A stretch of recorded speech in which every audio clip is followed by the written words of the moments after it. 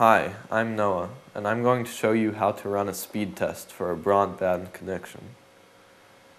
If you've ever wondered whether you're getting what you paid for with your internet company in terms of the speed that's specified in the contract, this is how you can find out.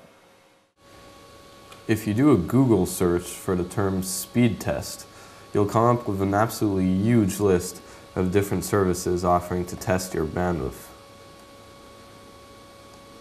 Any of these are fine, but just make sure that you're using a server which is near to your home to get an accurate reading on how fast your connection can be.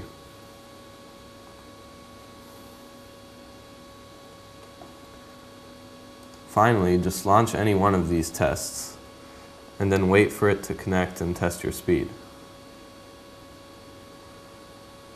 First, it will try downloading a sample and then uploading one and then tell you both the speed for your uploading and downloading.